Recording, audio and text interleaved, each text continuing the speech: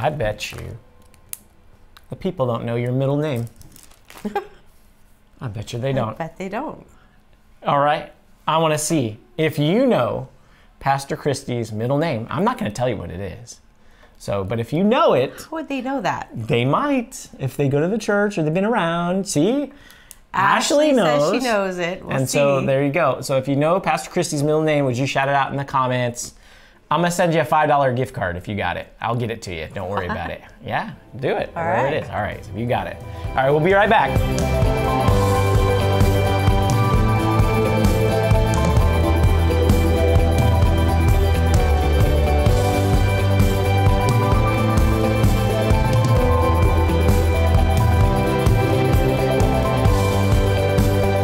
What's up, everybody? Welcome today to Coffee and Confessions on this beautiful Tuesday. Tuesday, right? yep. Week's moving along, doing good, man. We're so glad you are here. Um, it's going to be a good time together. It's the C2 family, right? Coffee and right. Confessions. Wait, C2, that's the way we do it, this way, because it doesn't look like you say. Anyways, Wait. we here Whatever. at Coffee and Confessions, what we do, we drink some coffee. That's right.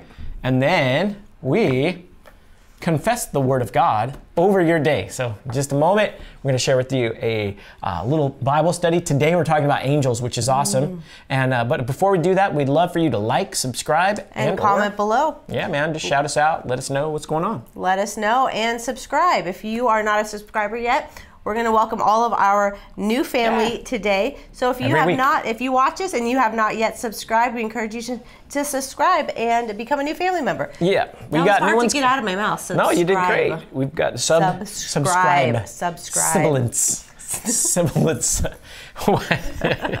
Why is that word funny? I don't even know what it means, but it's the it's the insider way of checking likes. Anyways, uh, check it out. Chris Famoso, what's up? I'm glad you found Coffee and Confessions, man. You're here. Gail Schneider, what's up? At 247. That's right. 247. So, Gail, we're glad you're here. Destiny, Children's Hope, glad you are here. And then the last one? Yeah, Lucy Landon, welcome to the family. Yeah, absolutely. Let's get you a word for your day. At the end of the show, we're going to confess the Word of God together. That's what makes our Bible study uh, special. It's based on confessing and mobilizing God's Word in your life. Faith is voice activated. So you come in every day, and we're going to voice activate your faith. So make sure you're here every day. The word of the day comes from Psalms chapter 34, verse 7. For the angel of the Lord is a guard, he surrounds and defends all who fear him. Such angels, angel of the Lord. You know, angels are such a uh, controversial topic, maybe. It's just Yeah. such an unknown um, topic. Like, sure, yeah, whatever. Yeah, Uh, and we had one of our kids um, ask recently if angels are real. Yeah. So we got to have a conversation. So here we go. We're going to look into the reality of angels a little Yeah, I love what this says because it says the angel of the Lord is a guard and he surrounds and defeat, defends. It reminds me of that song Surrounded. Like, uh, I love that song because it talks about how God surrounds us. Why be in fear when God surrounds you? And it says here, but the surrounding actually happens. Part of God's extension of his hand of protection in our lives is the fact that angels are real. It's not a chicken soup for the soul. Let's just have a nice feeling and just, it's not something that's just a, a weird eminence. It's actual, actually a being that scripture talks about throughout. From, from Genesis to Revelation, you hear about angels. They are real. Um, they are not the uh, chubby little babies. Cupid angels? Yeah, nah, that's not. Uh, we got some of that right here. So if you want to see, so, so this, I need to protect them. They can't protect me. All right, this is not how it. That that's not. So I don't know how that got out in popular society, other than the fact that I think sometimes the enemy's just trying to water down what God has put in motion. And so the world waters it down. Says, "Oh yeah, there's little angels. They're cute. They are in diapers, and you have to change them every once in a while and make their babas for them. And they drink baba milk, and then they just kind of float around the room.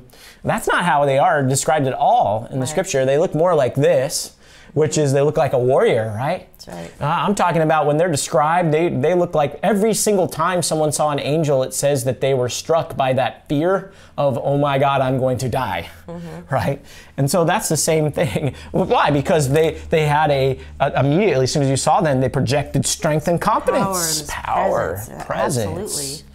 They reflect that same because they come from the hand of God, so they're reflecting that side of God, that strength, the power, the confidence. That's who He is, and so um, angels are real. That's what we're talking about today. And so I, I know of a, a, pastor down in uh, Texas. His name's George Pearsons. He's from Eagle Mountain Church. It's the Kenneth Copeland um, church that he, he founded it, but George Pearsons is his son in law and he runs the church. And he tells a story of how his little uh, daughter was out front on a porch, soaking wet and partially clothed one day when he got home.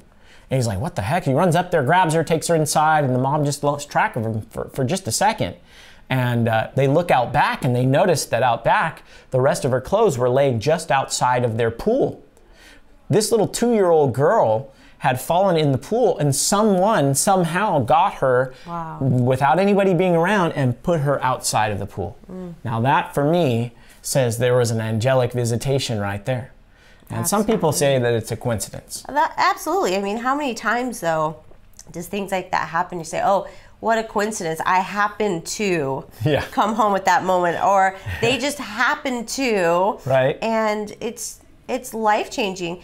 Coincidences? Yeah. I mean, it's funny how many when you're believing when you're believing and when you're trusting God to protect you, protect your family, watch after your situation, whatever it is, when you're believing how many coincidences there are. Let's go. That's awesome word, man. No, that's the truth when you think about it because how many coincidences keep happening the more that you believe God, mm-hmm. right? At some point, you're like, okay, this isn't coincidence anymore. Right. You say, give me the proof. Well, I don't walk by proof, I walk by faith. That's right. The faith will be proved. You watch.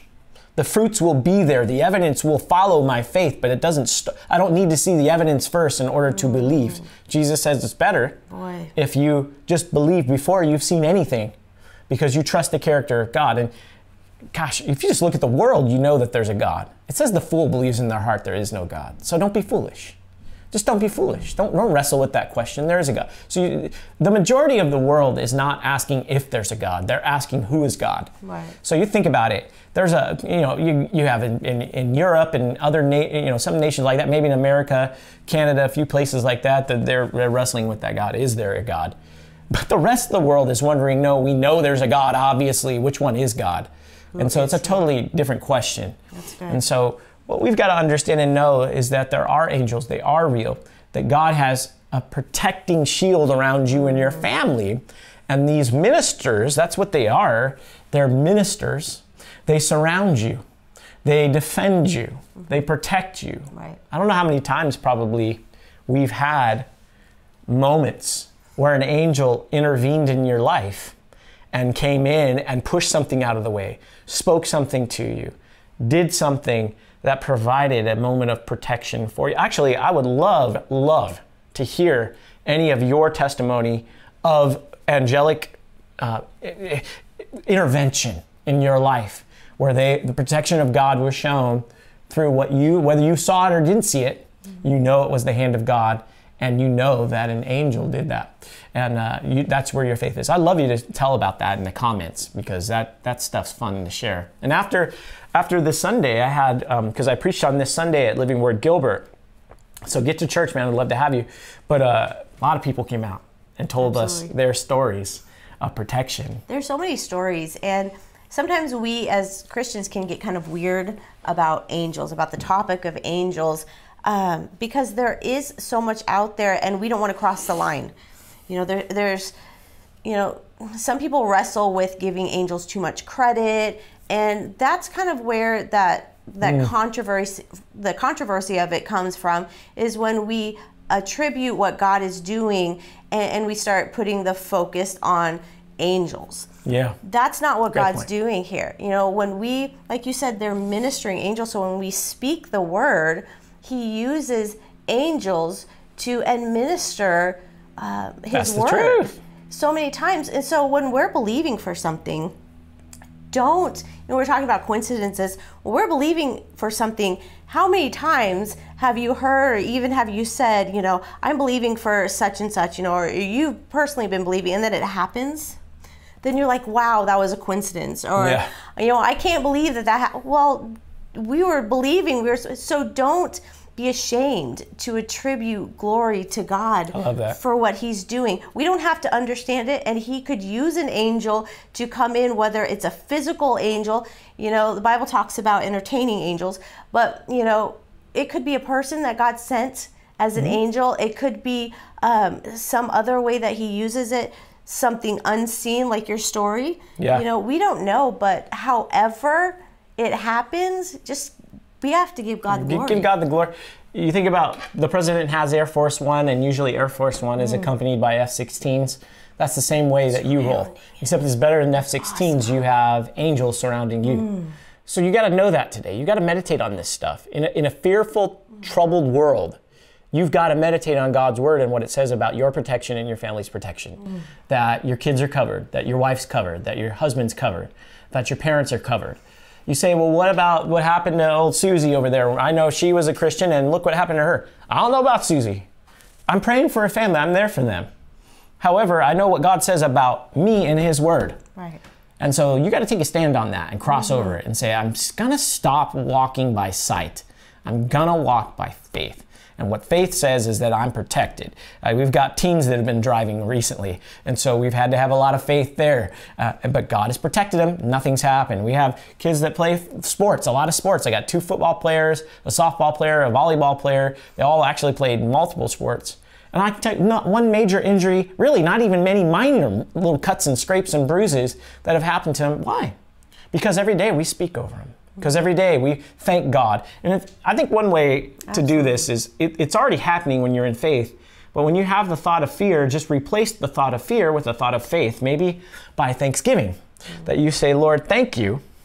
That instead of meditating on what the fearful thought was, just stop and say, God, I thank you that your angel encamps round about, surrounds and defends mm. me and my family, my kids right now. Instead of the vision of seeing them crash in a car, you see, no, Lord, I thank you that even if the trouble tries to find them, you're going to protect them through that situation. Absolutely. A thousand can fall to the left and 10,000 to the right, but it's not coming near me. Amen? Amen. Let's say these confessions together. All right? There are no co- coincidences in my home. My family is protected by God Almighty and His angels. Let's say it together. There are no coincidences in my home. My family is protected by God Almighty and His angels. Praise God. The angel of the Lord surrounds and defends me, my family, and all concerning me. Let's all say it with conviction. The angel of the Lord surrounds and defends me, my family, and all concerning me. Let's go, double high five. Yeah. Praise God. Hey, shout out down low. You're a new subscriber. We'd love to shout you out uh, next week. And get down to church, right? The LW Church Challenge is going on. That means 12 weeks, you and your family, you come to church every week. Get the word just mm, deep down in you. You get connected to the vine. Absolutely. Like, subscribe, and Comment below. we love you. We'll see you tomorrow. week. Yeah, have a great week.